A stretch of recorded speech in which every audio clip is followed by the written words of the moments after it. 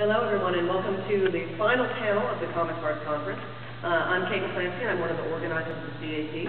If this is your first time joining us, you might find that our programming is a little bit different from what you might find in other rooms at the con. Uh, we are the academic track of programming here at WonderCon and also at Comic-Con International in San Diego. So we have a tendency to go a little bit more in-depth um, than some of the other programming might into the kind of mechanics of the medium um, that we're talking about. Uh, sadly, this is our last panel, as I said, um, so if you're just joining us, you missed all the awesomeness. Uh, but we do have programs, should be still some on the table in the back that'll let you know what you missed. Uh, also on the back of these programs is our contact information. If you'd like to get involved in the CAC, if you'd like to you know, submit for a presentation, um, you'll find our website and our email on the back of this program. Uh, this panel consists of three individual presentations of about 20 minutes each. If you guys could save questions for the end, we'll take all the questions once all three presentations are done. And also, if you could silence your cell phones, we greatly appreciate it. Um, so I will be presenting on this panel as well as Christopher Sperando from Rice University, but first up is Sydney Heifler from the University of Oxford.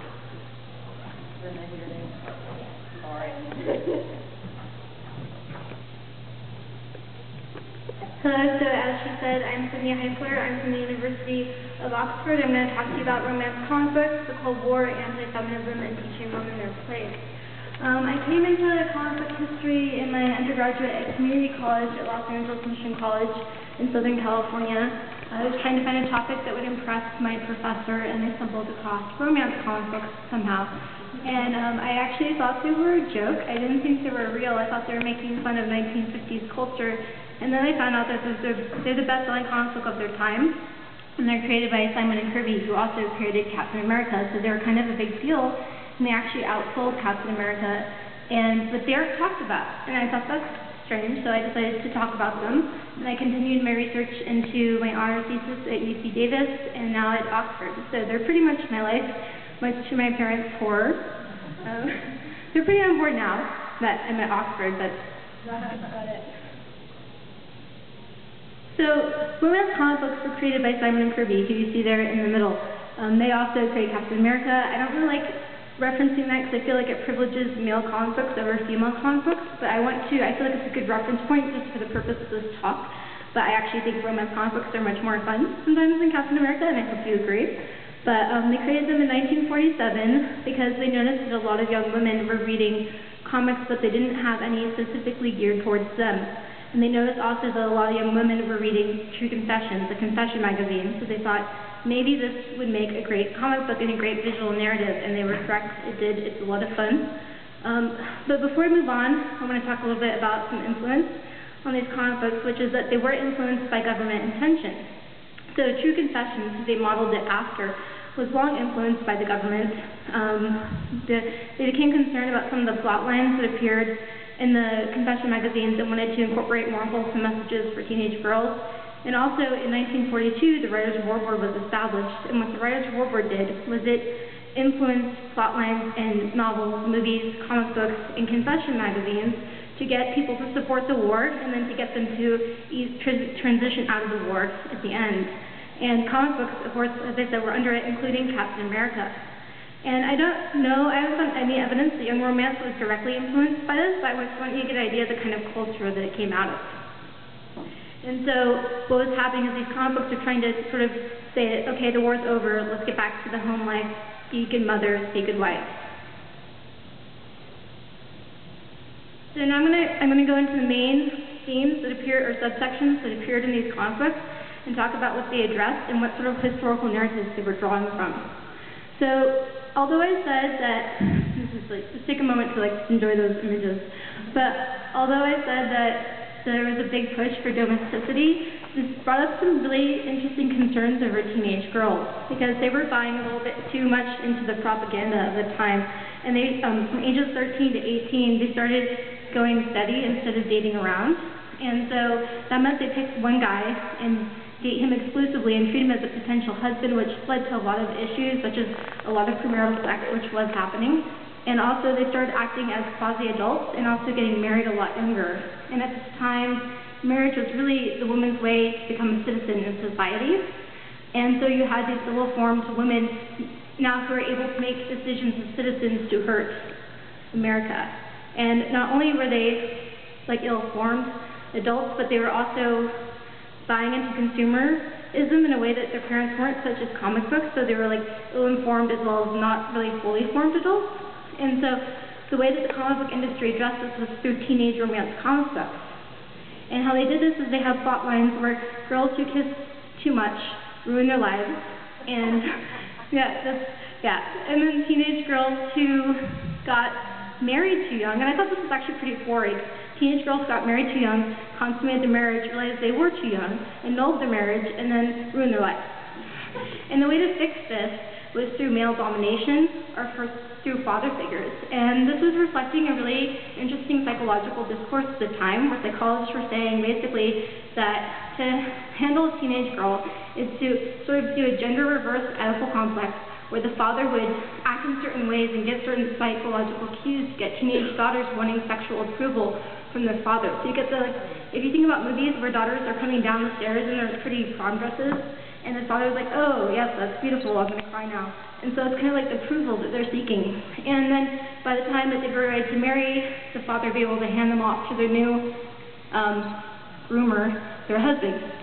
And so you really get these in plot lines, such as I was the loneliest girl in school, where she's miserable because she's too bossy and she needs a man who can boss her around.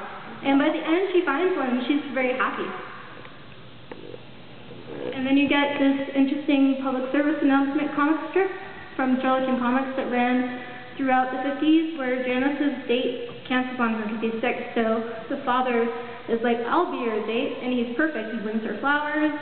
He's her friends are impressed. They do the dance contest. They win. He gets her home early. Pop, you're the greatest. Remember, gals, your pop is your past. This is presented as a Charlton public service, so it gets like really kind of creepy. Fun, but creepy. So moving on to marriage and motherhood. At this time, as I said, domesticity was really pushed forward, and it was for two main reasons. One was that when, when women were brought into work in the war, the government and industry didn't really want them there. It was a last-ditch effort. It was like, okay, we really need these women now. I guess we really do have to bring them into work. And um, I just want to point out this is for white women only. African American women have been working for forever because they had to. Um, but so there was that reason, and then so they really wanted women back in the home. It's like, okay, we don't need any more. Please go back. And then also there was the fear of communism, which is very much linked to sex during this time, and it was believed that women could fix that by keeping a very happy home and keeping their husbands happy. So you had to be sexually satisfying, but not too sexually satisfying, because else you'd become perverted and a communist. And also you had to raise your sons very well, but not be too motherly, because then you make them limp. And communists, they weren't supposed to like do anything for their daughters except for keep a happy home, because they could corrupt their daughters. That was the father's job. And so in plot lines and comics, you actually get a lot of this. You get um, husbands who cheat on their wives and then leave, and then the wives get upset and realize that they did something wrong. There was actually one Vice article in a Young Love, I think it was, that was like, um, is your waist skinny enough? Are you keeping a clean house? Are children crying a lot? Like, what's going on? What have you done wrong? And so, you also just get like a lot of fun things like how to make him propose. My sister recently got engaged and I kept posting these things on her timeline asking this is what she did and she said no, so don't follow the advice. Or, um, oh, this is like a really funny one just about like how to keep your man happy and she gets plastic surgery. And she says, well, when do you think you can love me now? And he's like, that depends on whether the plastic surgery has remodeled your attitude as well as your face. and that was like, oh, whoa. And then we get love customs. We have fun little articles like about marriage to get you to thinking about marriage.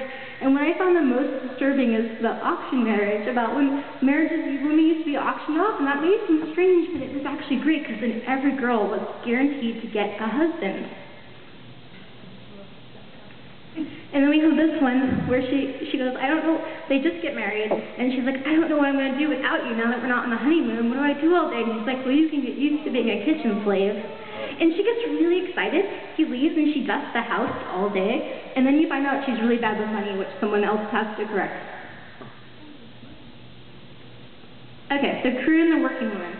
So at this time, of course, as you can probably guess, career women were vilified for reasons that I've already explained. And this is one of the few plot lines, besides the teenagers who get married then annul their marriage, where the wives can actually be permanently ruined. Because, and I just want to make a few points that it was okay to work if you weren't yet married and you're waiting for a husband, and it was okay to work if you were waiting for a baby and you needed the money, and it was okay to work if your children were off to school and you didn't want to get bored and start clinging onto your husband and aggravating him. But it was never okay to work for your own enjoyment, and it was never okay to pursue a career unless it was in nursing because America had a really big shortage of nurses at this time.